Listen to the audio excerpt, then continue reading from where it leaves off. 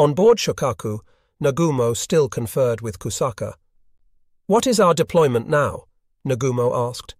Battleships Hiei and Kirishima, cruiser Chikuma, and seven destroyers of Rear Admiral Koki Abe are ahead of us, 60 to 80 miles to the south, Kusaka replied. Rear Admiral Chuichi Hara's cruiser Tone and destroyer Terutsuki are 200 miles to the east. Rear Admiral Kakuta's force is 300 miles to the west. Any reports on enemy carriers? No, sir.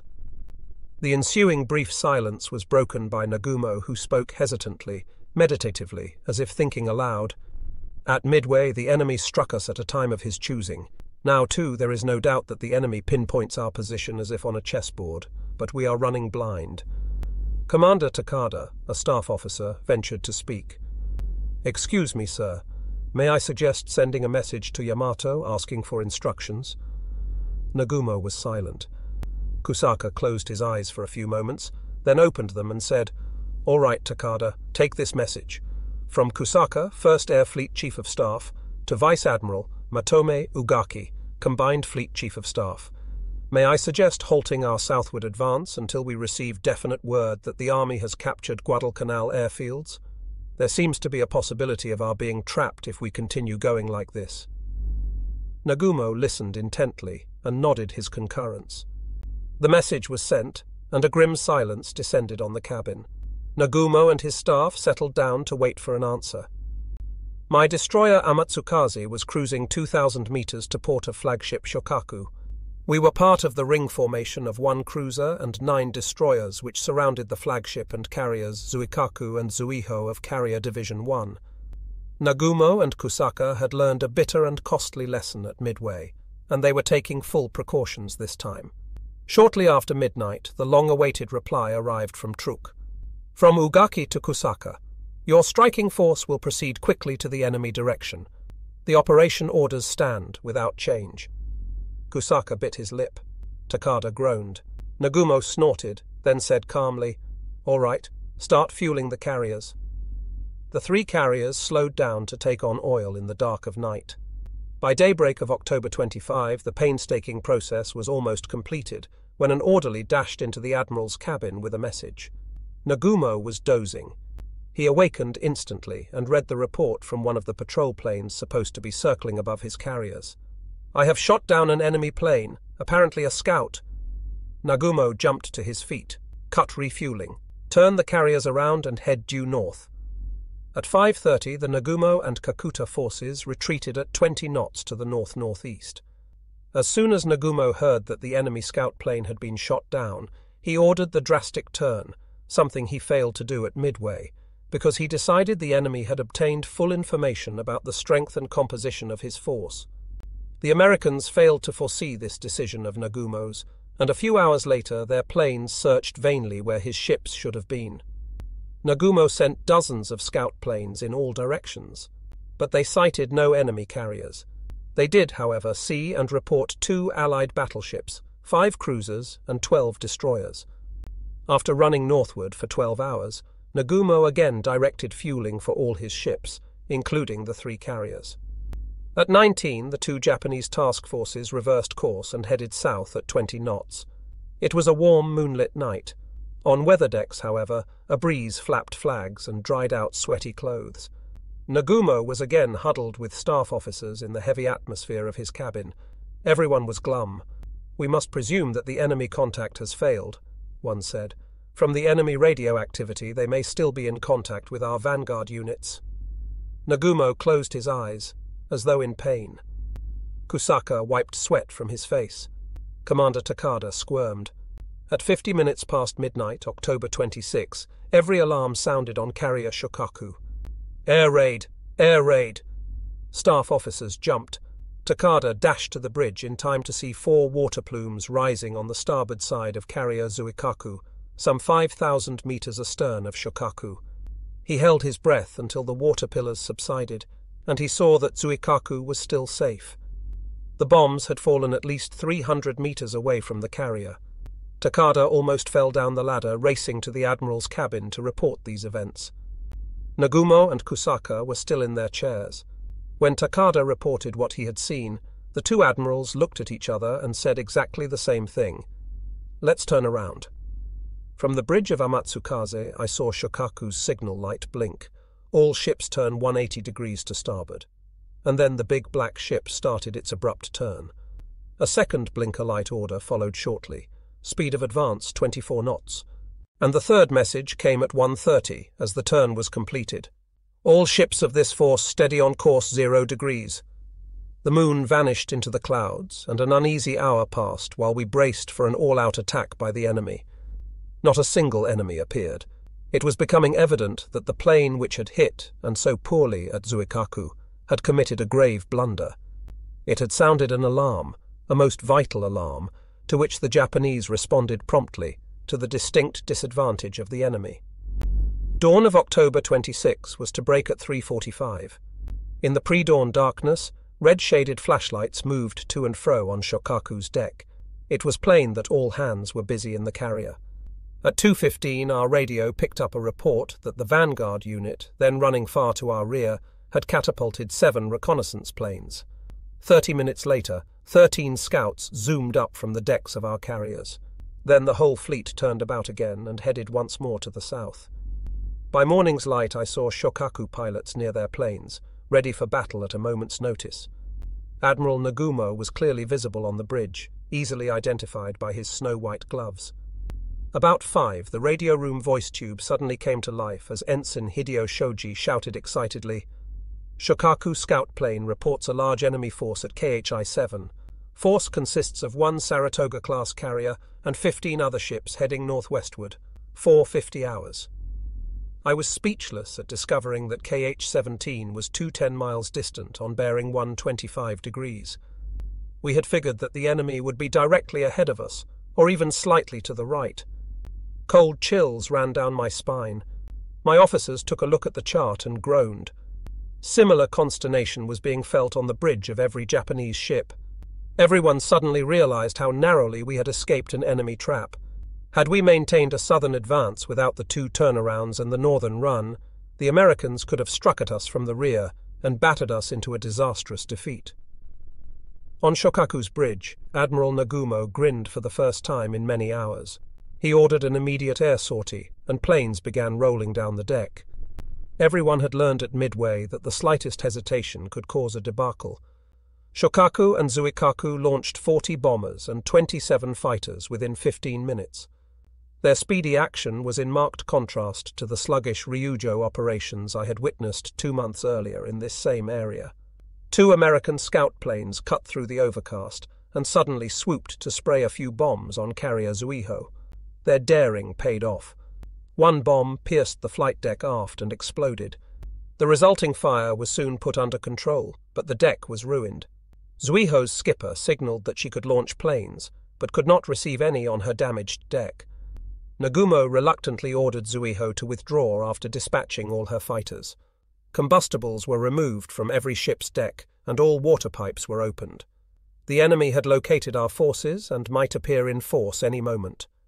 A second wave of Japanese attackers, including Zuiho's 16 fighters, was launched by six. All carriers were now left without air cover. We had to strike the enemy first. Meanwhile, in Carrier Junyo, Admiral Kakuta angrily stamped his feet at learning that the enemy was 330 miles away. He ordered his ships to head southeast at full speed, and enthusiastic boilermen responded instantly. The bulky converted carrier reached her maximum speed of 26 knots in a record 10 minutes, instead of the usual 20. Junyo sprang from the ring formation, leaving behind her three escorting destroyers. The destroyer men gaped at seeing the most sluggish carrier in service running away from them. It took the destroyers more than an hour to catch up with their darting flagship. The three 30 mile distance to enemy targets was not prohibitively far. Kakuta could have had his planes return to the nearer Shokaku or Zuikaku instead of trying to range back to Junyo. But he wanted to close with the enemy so that he could juggle his few combat planes for as many attacks as possible. The enemy's timing and movements were most adroit, but he failed to reckon that the smaller, more distant task force, with its lone carrier, would offer such a determined fight. Starting at 7.14, Kakuta sent out 29 planes in three attack waves to strike the enemy. Breakfast that day was even more Spartan than usual. I was munching the emergency fare of biscuits and water when a scout bomber came in, wagging its wings for identification, to make a neat landing on Shokaku's deck. Handling crews were at work on the plane as soon as it stopped, readying it for another sortie. The plane was quickly rolled to one side as six fighters sped down the deck to fly combat air patrol over our ships. An enemy onslaught was expected at any moment. The first word from our own attack planes came at 7.10 when they announced, Enemy carrier sighted, all planes attacking. The 40 bombers and torpedo planes scored several direct hits and many near misses on Carrier Hornet in a concentrated attack which lasted about 10 minutes in all. My attention was diverted from this exciting news by the return of another bomber plane, which tried to land on Shokaku's deck. The plane was crippled and had to ditch near the carrier's stern. Amatsukaze raced to rescue the crew, stopped near the sinking plane, and lowered a rescue boat. While this operation was in progress, enemy planes were sighted. General alarm was sounded, and all hands went to battle stations. I glanced up and saw about a dozen dive bombers approaching from out of a cloud bank at 2,000 meters. I continued our rescue operation, confident that the planes would choose carrier Shokaku for their target rather than my little destroyer. While Amatsukaze's boat was returning with the two rescued flyers, all ships opened fire at the approaching enemy planes, and they were gleefully jumped by our six combat air patrol fighters. Amatsukaze joined the fray as quickly as possible. How different was Japanese response from what it had been two months earlier, when carrier Ryujo had been under air attack. Two enemy torpedo planes were hit by our fighters, blew up in smoke, and disappeared. One of our fighters rammed a third bomber, causing a terrible explosion which blotted out both planes in an instant. I saw two enemy bombers, apparently hit by gunfire, fall into the sea. Very strangely, I saw not a single American fighter. I wondered why these enemy attackers came without escort. The number of enemy planes was decreasing. The skies were filled with white and yellow smoke from the barrage of our ships, anti aircraft fire. It appeared that we might pull through this raid unscathed. Amatsukaze was zigzagging at a steady 33 knots, but half of my attention was devoted to Shokaku, which needed all possible protection. I saw two enemy bombers pierce Shokaku's gunfire and dive full toward the carrier from a height of about 700 meters. The planes arced up at the last moment and disappeared into the clouds. The next instant I saw two or three silver streaks, which appeared like thunderbolts, reaching toward the bulky carrier. Their impact raised flashes at the fore and amidship near the bridge of Shokaku. The whole deck bulged quietly and burst. Flames shot from the cleavages.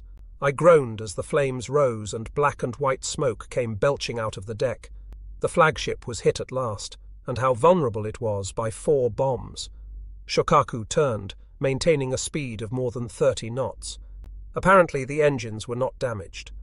The ship started to withdraw with two destroyers as escorts. Before leaving the area, Nagumo signaled instructions for me to escort Zuikaku the only carrier of his force remaining in operation. I was still bewildered at Shokaku's vulnerability. Why was it so weak, with all its crack flyers and efficient crew? Ryujo's sinking was not too shocking, in view of its poor combat efficiency, but Shokaku's defeat confounded me. No time, however, for such disturbing thoughts. There was work to be done. The enemy air raid was over, but more waves might be coming at any time to attack Zuikaku. Furthermore, Zuikaku had to retrieve the returning planes of all three carriers. It was obvious that some of these planes, particularly damaged ones, would have to ditch. Amatsukaze headed toward Zuikaku at full speed. An hour passed with no fresh assault by the enemy. We were grateful for a number of Zuiho's fighters, which returned in small groups. Their pilots explained the mystery of the lack of fighter escorts for the bombers which attacked Shokaku.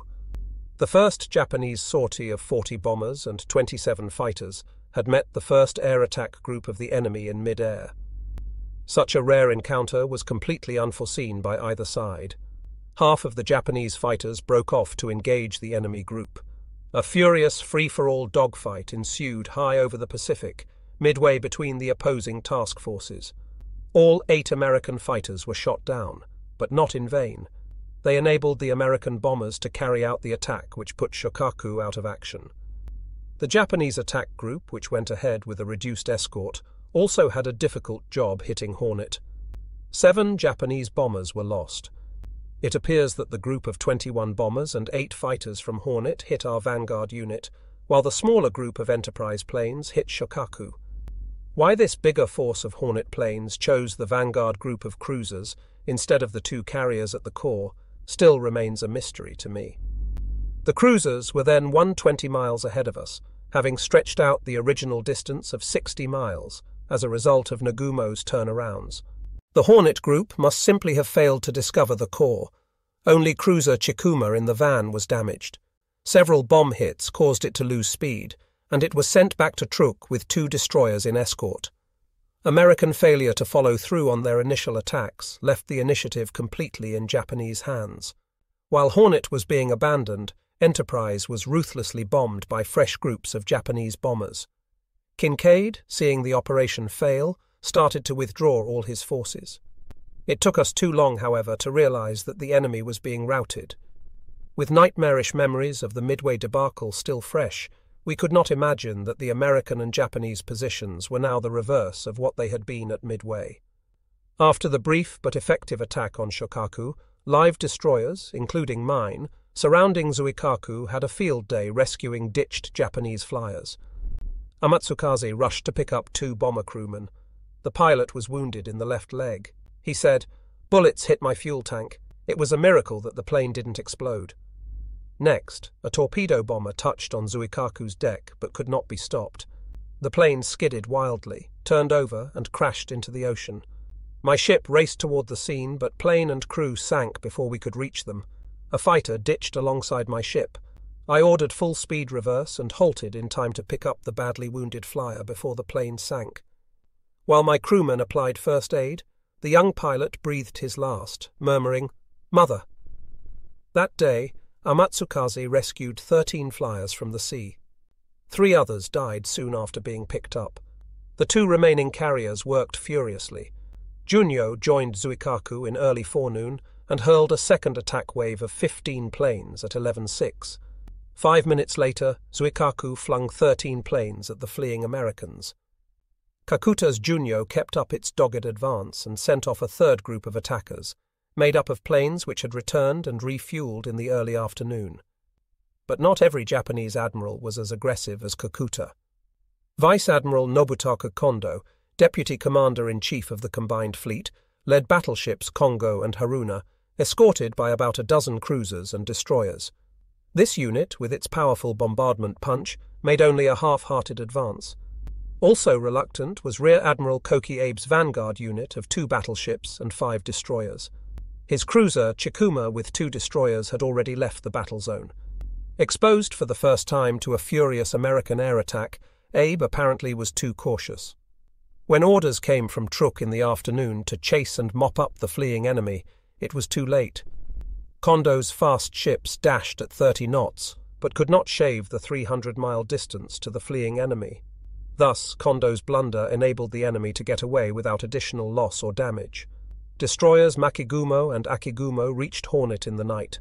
Two American ships near the helpless carrier turned and fled, and the Japanese destroyers finished off the burning hulk with four torpedoes.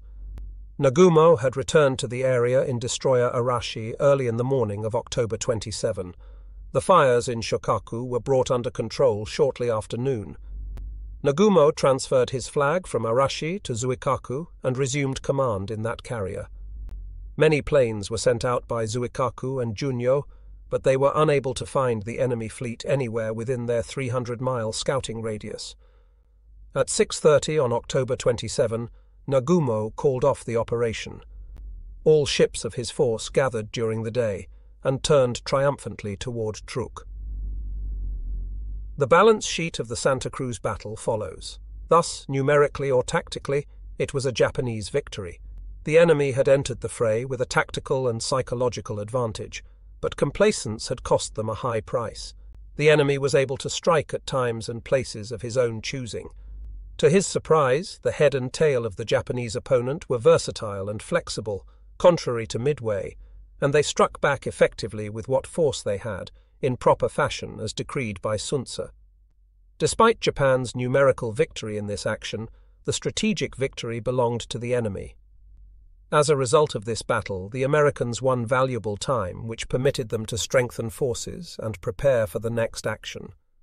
This was achieved at nominal cost because our centre force, under Admiral Kondo, was lacking in spirit. If it had responded as it should have, and as did the head and tail, the destruction of the enemy forces could have been complete. Jubilance over the Santa Cruz victory did not last long. Orders awaited Admiral Nagumo at Truk. On November 2nd, he was relieved from command of the Third Fleet, the official title of his task force, and transferred to the homeland as Commandant of the Sasebo Naval Station. On learning of this rotation, I went to see him, not knowing whether to offer congratulations or sympathy. Nagumo was a haggard old man. He seemed to have aged twenty years in the last six months. Glad to see you, Hara, he beamed. You have done a terrific job. I am proud of you. I blushed, and after a clumsy silence ventured, You don't look good, Admiral Nagumo. Are you sick? Oh, just a touch of flu, he replied casually. Once back home, I'll be in good shape and return soon to join you in the fight. Yes, sir. Sasebo's climate will cure you, and you deserve a rest. You have been in combat continuously for a year. Compared with your duty, I've been on a pleasure cruise. Well, you'll have a tougher time from now on. All the carriers except Junyo are going home for repairs, and we have lost some of our best flyers. It will be some time before new flyers can be properly trained. I beg your pardon, sir, but are Shokaku, Zuikaku, Zuiho, and Hiyo all going to be 2,500 miles away in home waters? Must we fight with only Junyo's air support? Yes, Hara. Damage to our ships was minor at Santa Cruz, but we lost a number of our best pilots and flight leaders. Just between us, Hara, this battle was a tactical win, but a shattering strategic loss for Japan. As you know, I made a special study of America's war potential during my stay in the States. Considering the great superiority of our enemy's industrial capacity, we must win every battle overwhelmingly. This last one, unfortunately, was not an overwhelming victory. Nagumo was relieved by Vice Admiral Jisaburo Ozawa, a noted destroyer expert, whose ability as a task force commander was unknown. The news was received with mixed feelings. We knew that Nagumo was completely exhausted and not fit for combat duty. Everyone hoped that our new commander would work a wonder and lead us to great victories. Next, I visited Kakuta, who had been promoted, to congratulate him. The Vice Admiral was in high spirits as usual but he grew serious when we discussed the fact that his task force would be operating with the only Japanese carrier in the southwest Pacific. The atmosphere in Admiral Yamamoto's combined fleet headquarters was grim and tense when I paid my courtesy call. Since the 2nd Division had taken such a beating, the Army had decided to commit the 38th Division to Guadalcanal. The Army asked Yamamoto for his full support in providing transportation. He had no choice but to comply. Yamamoto knew that all his units were particularly tired after the Santa Cruz battle, but he had to send them out again, and this time within sufficient air cover. Yamamoto rationalized that the enemy had suffered such losses at Santa Cruz that he must be equally exhausted.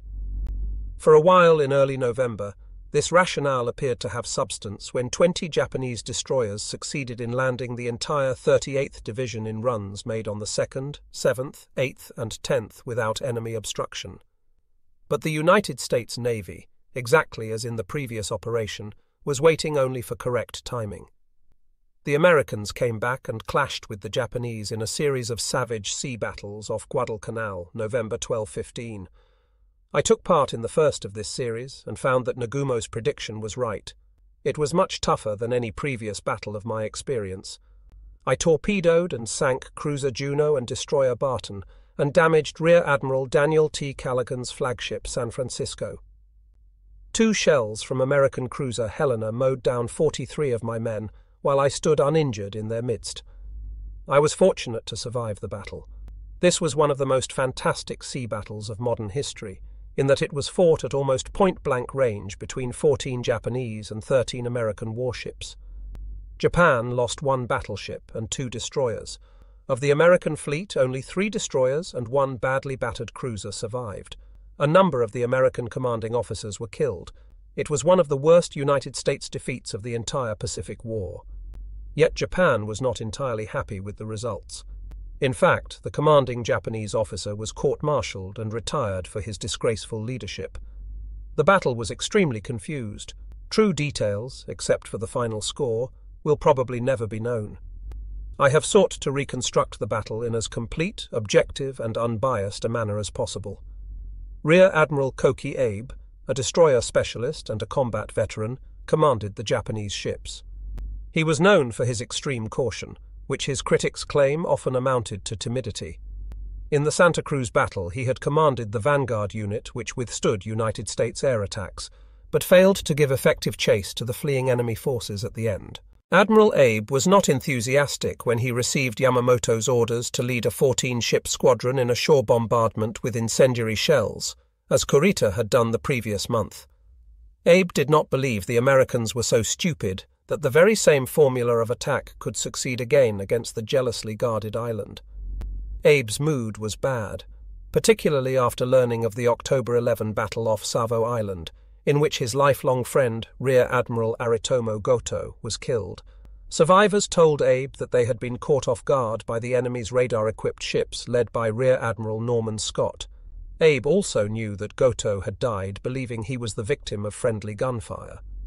On the smashed bridge of cruiser Furutaka, he breathed his last murmuring Bakayaro, Bakayaro. The dying admiral uttered this profanity at what he believed to be the Japanese responsible for his death, also perhaps at himself. It was an ignoble death scene for a commanding admiral, and Abe, unhappy to hear of it, was determined not to follow Goto's example. Abe rightly interpreted the unopposed landing of the 38th Division as a deceptive lull, like the one which preceded the Santa Cruz battle. He was prepared for the worst. My Amatsukaze left Truk November 9th in a group of eight destroyers with light cruiser Nagara, these ships joined Abe's two battleships and three more destroyers near Shortland Island in the early morning of the 12th. At 8.30 that day, some 300 miles north of our destination, we were sighted by a B-17. Junyo planes were sent up by Kakuta to repel it, and the enemy plane left without dropping any bombs. But there was no doubt that the American plane had learned all he needed to know about our movement. This early enemy contact increased Abe's natural cautiousness. Also, by this time, he was reading reports about the enemy's successful reinforcement efforts of November 11 and 12. At 13.30, Abe called for a drastic change in formation. Our single column was ordered into a tight double half ring formation. Five destroyers spread out in an arc, 8,000 meters ahead of cruiser Nagara. Six other destroyers drew a half ring fanning out from Nagara, with 2,000 meters between each ship. Flagship Hiei and sister Kirishima, 27,500 ton battleships, followed in column behind Nagara with 2,000 meters between each of them. This tight formation was completed by 14 when we were within 200 miles of Guadalcanal. I thought the aim of this formation was to prevent surprise attack by submarines or aircraft during our approach to the target area. I never dreamed that Abe was so concerned over a surprise attack that he would stick to this complex setup throughout the operation. While we proceeded south at 18 knots, Hiei catapulted a scout plane. An hour passed with no message from the plane. No enemy planes came either. The weather suddenly turned bad. Thick clouds gathered rapidly, bringing a tropical rainstorm. It was a tremendous driving downpour which covered everything in darkness. It became difficult to see the nearest vessel. Nerves tightened in Amatsukaze as we waited expectantly for orders to slow down and change to a less complex formation. No such orders came. To Abe, the storm was a blessing. He knew that, cloaked in such a rain squall, his squadron was safe from air, surface, and submarine attack. At his staff officer's advice to slow down, he snorted, We must maintain this speed to reach the target area in good time. A rain squall on tropical seas is normally limited to a small area and seldom lasts more than a few minutes. To our growing amazement, this squall appeared to be endless. We continued to advance at 18 knots. Two hours passed without let up of the cascading rain. Sweat streamed down our faces and bodies, despite the torrent of rain which drenched us like rats. In peacetime, a force commander would never take his ships through a blinding storm at such speed and in such a complex formation. Anything could happen. On that day, however, Not a single hitch developed in the long, almost blind dash. This performance, which lasted more than seven hours, attests to the seamanship of Japanese destroyer crews. The same high proficiency kept us from shooting each other in the confused battle which ensued. American reports claimed that some of our ships fired on each other, but this is not true. On Hiei's bridge, Abe was in a buoyant mood. To his drenched officers, he said, This blessed squall is moving at the same speed and on the same course as we are. The first message came in from the scout plane. More than a dozen enemy warships seen off Lunga. And Abe chortled, If heaven continues to side with us like this, we may not even have to do business with them. The squadron pressed on. Hours passed, but the rain squall did not abate. If anything, it got stronger. In all the years of my career, I never experienced such a rain. It was completely enervating. My officers were bored and expressed their boredom. Ensign Shoji said, Phew, this rain is killing me. I am fed up. Let us fight the Americans, not this rain. We were nearing our goal at 22, if all 14 of our ships had navigated accurately. On board Hiei, Abe pored over the charts. Being a destroyer expert, he knew the skill of each of his skippers, and he knew that Rear Admiral Susumu Kimura in Nagara was one of Japan's top navigators. Abe had just received a message from the Army observation post on Guadalcanal saying, Weather now very bad here. The Hiei scout plane, unheard of since its Lunga report, had gone onto the airstrip on Bougainville, rather than attempt locating Hiei in the storm. Admiral Abe realized that an accurate bombardment was impossible in the storm, so he made his decision to get out of the southbound squall. Accordingly, he radioed by ultra-short wave. All ships stand by for a simultaneous 180-degree turn. I responded immediately. From Amatsukaze to Hiei, standing by for a simultaneous 180-degree turn. The execute signal usually follows such a message within 30 seconds. I peered anxiously at my watch. Timing is essential in such a maneuver if collisions are to be avoided. One minute passed, no orders. One minute and thirty seconds, still silent. For God's sake, I thought, this can't be true. I hollered into the radio room tube. No execute order yet? A nervous voice replied, No, sir. Van destroyers Yudachi and Harusame have not yet acknowledged the standby orders. Three minutes passed. The tube boomed again, Commander, Hiei is talking to Yudachi and Harusame on medium wave frequency. Oh no, I cried. Has Hiei lost its mind? Medium wave radio can easily be picked up by the enemy. Thus, our advantage of the rain squall would be squandered by Hiei. At 22, the radio man shouted, Hiei orders 180 degree turn for all ships. Righto, I yelled at the top of my voice. Turn 180 degrees. My destroyer turned cleanly. I looked around desperately, fearful that another ship would suddenly appear on a collision course. Nothing happened. The drastic course change in a complex formation had miraculously succeeded. Hiei's next order was all ships slow to 12 knots.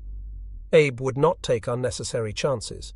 From his many years of experience, he knew the original formation must be considerably askew after seven hours of blind marching and the drastic 180 degree turn. He was right. The formation was certainly scattered.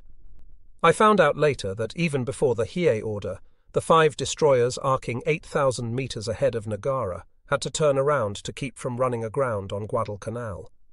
The van arc was thus broken into two and three destroyers, and thus divided, the two groups drew increasingly apart. This factor had an important bearing on the battle as it developed. The rain squall finally ended at 2240, more than 30 minutes after we began the backward run. Abe ordered another 180 degree turn to take us back to the dangerous island. I was sure he would now form the force into a single column. Our complex formation was good for opposing attacks by small torpedo boats, but we would be stymied if an enemy stormed us in strength. Abe, maintaining his cautious stand, steadfastly held to the formation. For the first time, I began to doubt his wisdom. In battle, it is bad to doubt one's leader but I thought it was meaningless to keep such a formation after exposing ourselves to the enemy by our use of medium wave radio. The enemy was sure to locate us and to strike. Small island, 60 degrees to port. A lookout's shout ended my musing. Almost simultaneously, another hollered, High mountains dead ahead. I turned to the left and saw the black, chunky form of Savo Island looming out of the darkness. Forward, I saw the mountains of Guadalcanal barely visible against a dark background of clouds. Feeling that battle was imminent, I trembled in excitement and breathed deeply of the balmy night breeze. I shouted, Prepare for gun and torpedo attack to starboard. Gun range 3,000 meters. Torpedo firing angle 15 degrees. Silence prevailed in our ship as every man went to his battle station. In Hiei, Abe was studying various reports. Guadalcanal observers radioed that the rain had just cleared and that they could see no enemy ships off Lunga. Bougainville reported sending out float planes. Fifty minutes after the second turnaround, the squadron was about 12 miles offshore. Abe was still undecided and sighed wearily. Tell Hiei and Kirishima to ready main batteries for Type 3 shelling. In the two ships, the huge one ton shells, each loaded with hundreds of incendiary bombs, were stacked up and ready around the turrets. The gunners were itching for fire orders. At 2342, a message came in from Yudachi. Enemy sighted. What is the range and bearing? Abe roared. And where is Yudachi? Abe had hardly finished his outburst when Hiei's masthead lookout frantically shouted, Four black objects ahead look like warships. Five degrees to starboard. Eight thousand meters. Unsure yet. Visibility bad. Abe covered his face. Yudachi was ten thousand meters ahead on our starboard bow. Ask him distance. Commander Masakone Suzuki, Abe's chief of staff, shouted at the lookout, is 8,000 correct? Confirm. It may be 9,000, sir. Abe, visibly shaken, said in a faltering voice, Tell Hiei and Kirishima gunners to replace all those incendiaries with armor piercing, and set turrets for firing forward. Abe staggered to his chair. He was in agony. Should he order the two battleships to turn around while they changed shells? He deliberated and finally decided not to, figuring that at such short range his battleships would be sitting ducks for the oncoming enemy. This indecision, it was later ruled, cost him his ship. On the decks of the two battleships there was pandemonium. Almost every hand had left his battle station to help cart away the Type 3 shells. There was a stampede in the magazines, men pushing and kicking to reach the armor piercing shells stored deep inside. At a range of 9,000 metre Scapital ships can fire with deadly accuracy. Just one shell landing on the deck of either of these battleships, stacked high with mountains of incendiary shells, could ignite it like a mammoth matchbox. Hiei's signal officers screamed hysterically over the radio. Ultra shortwave, ordinary shortwave, and medium wave. All available frequencies were used to announce the presence of the enemy. Security precautions were thrown to the winds. On Amatsukaze's bridge, the notice came as no surprise. I watched uneasily, however, as Hiei's crewmen scurried like scared rats. My lookouts still could not see any enemy ships, and they squirmed. No sweat, boys, I shouted. We are well prepared to engage when the distance is down to 3,000 meters. Mysteriously, for eight long minutes, no shells came from the enemy.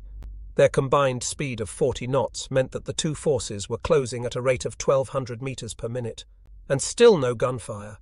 What a contrast to the Java Sea battle, when both sides started firing at a range of more than 25,000 metres.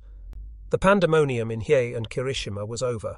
All incendiaries had been removed, and the guns were ready to fire regular armour piecing shells. Why had the enemy allowed us to gain the precious eight minutes which saved us from catastrophe? Seeking an explanation, I have read American post war accounts of the battle. The answer was complex and difficult to come by because most of the high ranking officers in the American task force died in this action. All versions I read were based on fragmentary and often conflicting accounts by survivors. I learned, however, that the enemy's inability to open fire during the critical eight minutes was the result of an impossible deployment and confused command. At 2341, when Yudachi reported her sighting, the enemy force was advancing in a single column, headed directly against the core of the Japanese unit.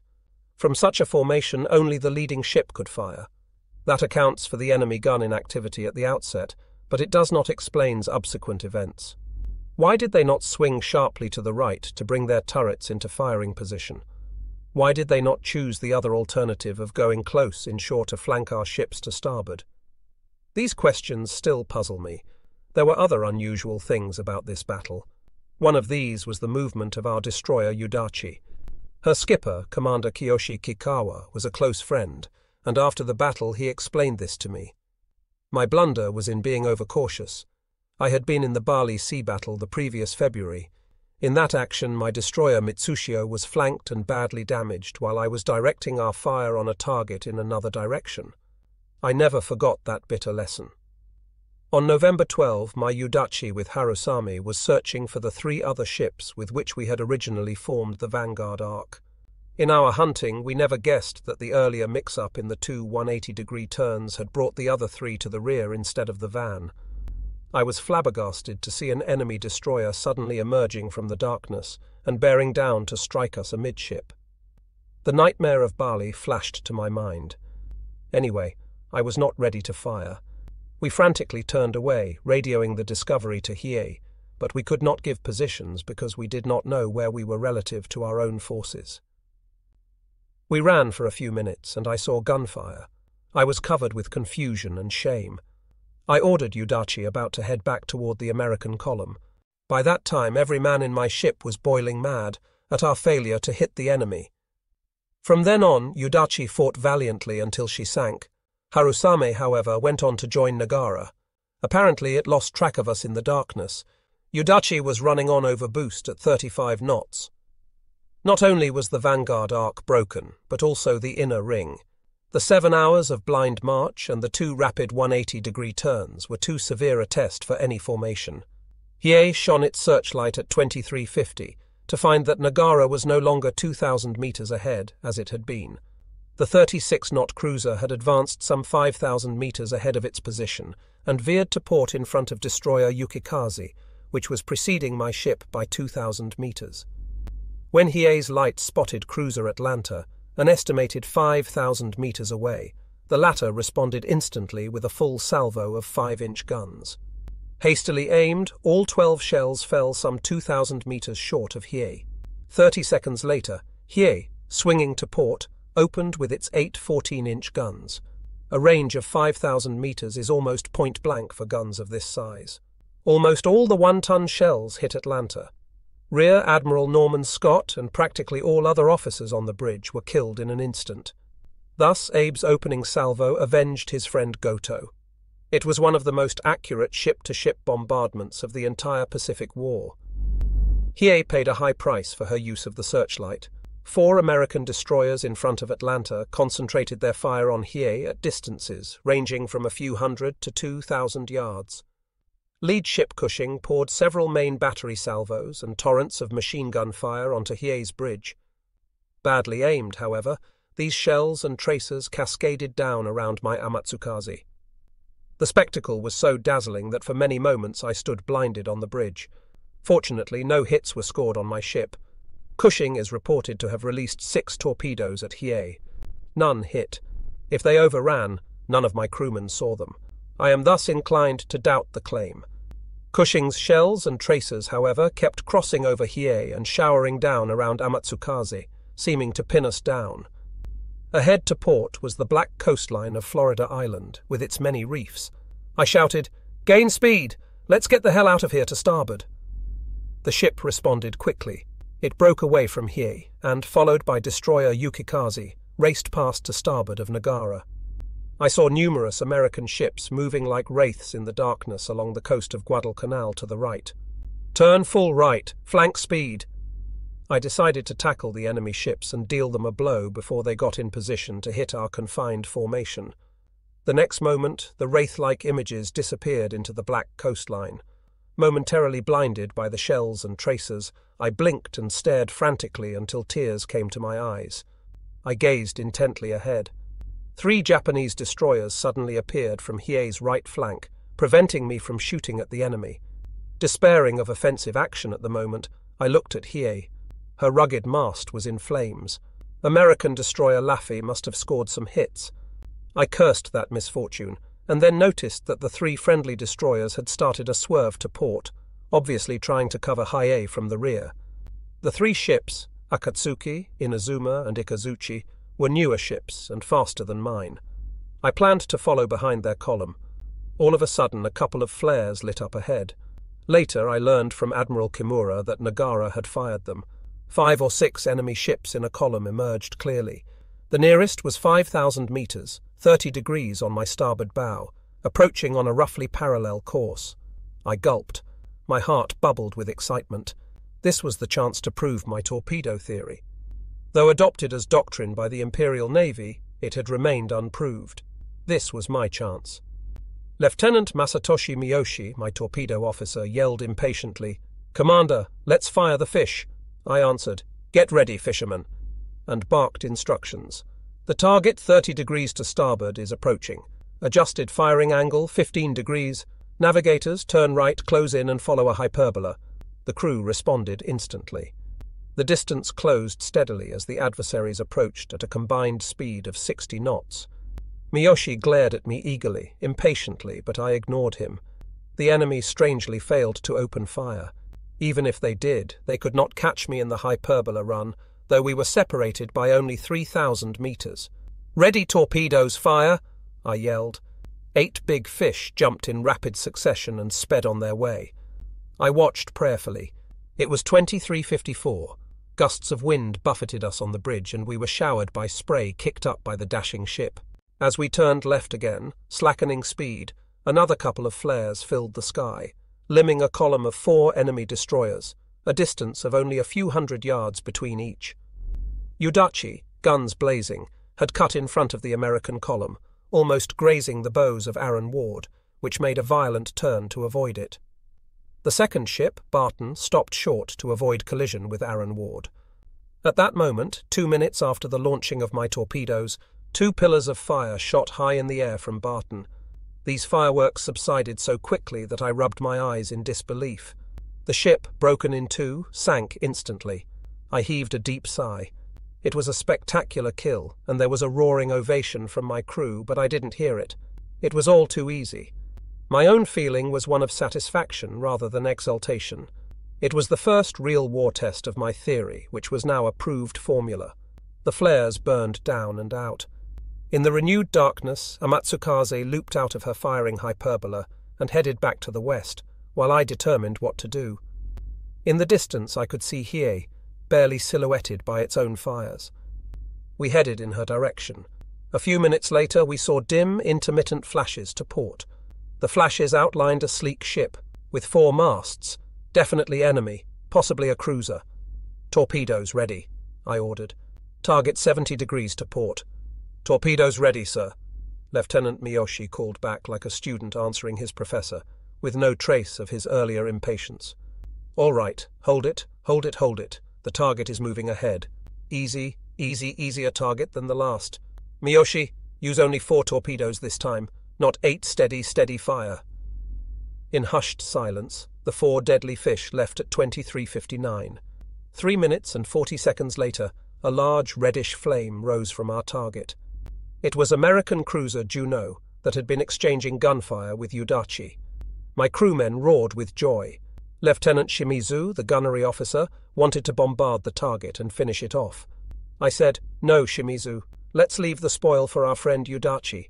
Don't be impatient. We'll have plenty of targets. Shelling at this stage would only expose our position to the enemy. Amatsukaze went straight ahead. Meanwhile, savage fights were going on in other places. Commander Hideo Sakino of Hiei later recounted to me how the flagship fought. Destroyer Cushing, after its attack on Hiei, was caught by fire from destroyer Terutsuki. The Japanese ship had advanced from its position on Hiei's port quarter, and once Cushing fell under the scrutiny of Japanese searchlights, it was finished off by a point blank salvo from Terutsuki. The second American destroyer Laffey almost collided with Hiei. While skidding away from a close shave, Laffey let loose a torrent of machine gun fire at Hiei's mast, riddling the bridge. Captain Suzuki was killed instantly. Others, including Admiral Abe, were wounded.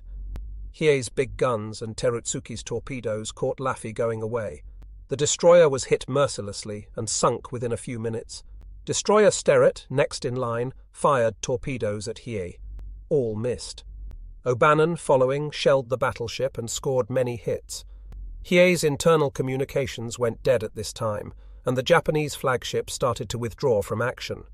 This was just about midnight, and the fighting became terribly confused. A free-for-all followed. Destroyer Akatsuki, from her original position 2,000 meters to starboard of Hiei, had dashed forward and fired torpedoes which hit cruiser Atlanta. Akatsuki thus became caught in fatal crossfire between San Francisco and an American destroyer and was sunk with almost her entire crew.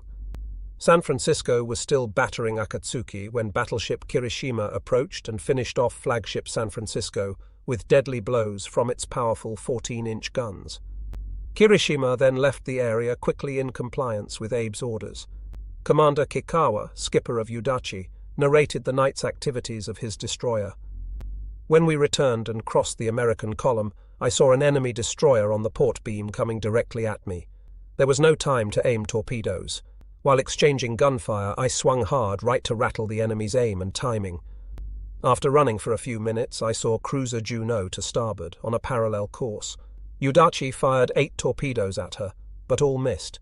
The cruiser answered with a powerful salvo, to which I could respond only with guns. That was bad. I felt I was pinned at last. A destroyer cannot outgun a cruiser. Then all of a sudden a burst of flames rose from the cruiser. It stopped firing, spread smoke screens, and quit the fight. It was your Amatsukaze that saved me. When Akatsuki was sunk, the two Japanese destroyers next behind her vengefully attacked San Francisco and Portland. The latter responded with gunfire on Inazuma and Ikazuchi. At the same time, unpredictable Yudachi was closing Portland on the port quarter. Kikkawa said, I just repeated your tactics, Hara, and released eight torpedoes at the cruiser, which was occupied with fighting in the other direction. The ship burst into flames when our torpedoes hit. Our jubilation was cut short when shells showered down on us. I was a victim of the same tactics we had just used, and now we were being bashed by someone off our stern. This must have been American destroyer Aaron Ward, which had been putting up a determined battle since Yudachi had crossed its path some ten minutes earlier. About that same time, my Amatsukaze was moving northwest toward the crippled flagship. The scene was strangely quiet. Dim, distant gunfire appeared like fireworks. It was impossible to tell who was fighting. I had decided to join Hiei, which, with its deck fires, was the only ship that could be recognized. I asked if there were any important messages. A radio man replied, No, sir, but we are not reading Hiei. Her communications must be out. Glumly, I looked at my watch. It was thirteen minutes past midnight. A red flash far to the west proved to be another ship set afire. That was Yudachi. I screamed as a big ship suddenly appeared out of the darkness just in front of us. Lieutenant Kinjuro Matsumoto spun the helm frantically to the right. There was nothing that the rest of us on the bridge could do but watch helplessly as the ships drew swiftly closer. Just as a collision seemed inevitable, Amatsukaze responded to her rudder, and we avoided a collision. I wondered what ship it could be. We passed so close I could not see its whole shape. There was no apparent activity on board. It had no turrets, but it was not a merchant ship. It was familiar, and yet I couldn't place it. This disturbed me as I knew every kind of ship, and decided that this must be Jingei. She was a submarine tender and had no turrets. But what was she doing here? The next moment I realized it could not be Jingei, and knew this must be an enemy ship. I jumped up and yelled, Gunners, torpedo men, stand ready to port. Lieutenants Miyoshi and Shimizu shouted their readiness, but at the crucial moment I wavered again. We must identify the ship for sure, and not fire at a friend under any circumstances. In desperation, I ordered searchlights. Our target appeared unmistakably to be an enemy cruiser. I ordered open fire with everything we had. Four torpedoes leaped out. They were the last of our full load of sixteen. All six of our four-inch guns roared for the first time in this battle. Enthusiastic gun crews fired rapid salvos. Almost every shell hit the target in this point-blank bombardment. Explosions were so near that the blasts were shaking me. Fires shot up at scores of places. Yet the enemy seemed so taken by surprise that there was no counter-attack. Some twenty seconds after we opened the attack, four solid underwater sounds were detected. I held my breath, anticipating mighty explosions. Ten seconds passed, but there was no detonation. As the ship wobbled on, I realized my stupid mistake. Every Japanese torpedo had a safety device which prevented detonation under any circumstance within 500 meters of its launching, and our target was no more than 500 meters away. I cursed my stupidity. Through haste, I had lost the chance to make a certain sinking. One blunder usually follows another, and it did here. Wild with anger at myself, I forgot to order the searchlight to be turned off. Kikkawa had reminded me that a searchlight always attracts enemy eyes, and I had forgotten the lesson. The enemy ship swerved to the left, perhaps to avoid collision, but its movements were erratic. Meanwhile, my gun crews continued firing as though shell drunk. Every shot was hitting home. The phantom ship wobbled on, spewing fire and smoke throughout its length. This was San Francisco, and our near collision must have occurred just after Admiral Callaghan and his staff, as well as the cruiser's own staff, had been wiped out by other Japanese ships. The turrets, whose absence puzzled me, had been blown to bits by direct hits from Kirishima's 14 inch guns. All of a sudden, shells were failing around my ship. I thought that the phantom ship had revived and was offering a last ditch fight. Some shell shit Amatsukaze. Gunners, don't budge an inch, I roared. Finish it off. Evidently, I was shell drunk too. Our guns continued to pump shells into the enemy ship, my third blunder. Actually, there were no shells coming from the dying San Francisco. A shrieking voice came through the deafening roar of guns. Warrant Officer Shigeru Iwata was shouting at me from his observation post just above the bridge. Commander, another cruiser is sniping at us from 70 degrees to port. My head snapped to that direction, and there was another enemy cruiser. I stood frozen from head to toe, but finally yelled, Douse searchlight, stop shelling, spread smoke screen. I had not finished the order when the third salvo from the new enemy, later identified as Helena, reached Amatsukaze. Two shells landed very near. I hunched my back and clung to the railing. The blast was so strong, it almost threw me off the bridge. The detonations were deafening. I got sluggishly to my feet, but my mind was a complete blank for several seconds. Next, I felt over my body, but found no wounds. Looking around, I saw with relief that all my nearby fellow officers were alive. What about others? I saw Iwata prostrate, hanging over the range finding gear. Iwata! Iwata! I cried. What's the matter with you? He did not move. Blood covered his head. A piece of shrapnel had pierced his skull, killing him instantly. A shell had exploded at the fire director station immediately above Iwata's observation post. Shimizu, Shimizu, I called at his voice tube. How are you? No reply came through. Radio men, report, I shouted into another tube. This tube was also dead silent.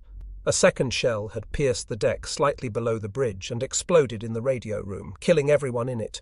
The ship was still turning sharply to the right and was now starting into a loop. Matsumoto, turn the helm! I shouted. I did turn, sir, but there is no response. Flames rose from under the bridge, apparently from the radio room. More fires flared. Helena had really done a job on us. Damn it! Let's return fire. A gunner struggled to the bridge blood dripping from a shoulder wound. Sir, the turrets won't move. The hydraulic system has failed. An orderly came from the engine room shouting, The rudder mechanism no longer works, sir. The hydraulics have failed. I talked to both men at once. What happened to Shimizu? How's the engine? Any fuel fires? Lieutenant Shimizu was blasted from the ship, sir, leaving behind only one of his legs. The engine works unimpaired, sir. The fuel has not caught fire. All right, you gunner, go get first aid. Matsumoto, go to the engine room and check. Send reports to me every three minutes. The ship had come full circle on the ocean and was about to begin a second loop. Helena's shells were still raining around, but very few were now hitting. Near misses shook the ship violently. More fires were starting, but crewmen were active with water hoses. Our guns were still silent, and we had no torpedoes. If the enemy closed, we would be as defenseless as a bull in a slaughterhouse. Amatsukaze's movements were getting more erratic, and she started her second circle in dense smoke. The rain of shells diminished as the enemy ship at last began to move away. Good. He was not going to finish the job. An orderly came with Matsumoto's message. The hydraulic system is definitely out. We'll have to operate the rudder with manpower. Please confirm. All right. Tell him to halt the ship for the shift to manpower operation right away. Miyoshi winced and said, Are we going to stop right here, sir? So near the enemy? Certainly, before we encounter more enemy ships. One of the voice pipes squawked. It was Matsumoto reporting. Commander, We have patched some of the damage. Good, Matsumoto. Stop the ship and shift the rudder for manpower operation. As the ship slowly shuddered to a halt, the enemy shelling stopped completely. Apparently, the enemy ship had turned around thinking that Amatsukaze was done for. Through the dense smoke, I could no longer see the enemy ship. Actually, Helena was having its own troubles, more serious than mine. As it had caught me unaware, so it was caught unaware by three freshly arrived Japanese destroyers. The trio, Asagumo, Murasame, and Samidare, originally had been in the vanguard arc formation with Yudachi and Harusame. Because of the drastic pre battle maneuvers, they had fallen to the rear just before the battle started. They finally came on the scene barely in time to catch Helena. The enemy cruiser was battered helpless by three ships emerging from nowhere. Before it could determine who and where the new opponents were, Helena was defeated. Murasame's torpedoes delivered fatal blows, but the cruiser miraculously drifted a few more hours before sinking.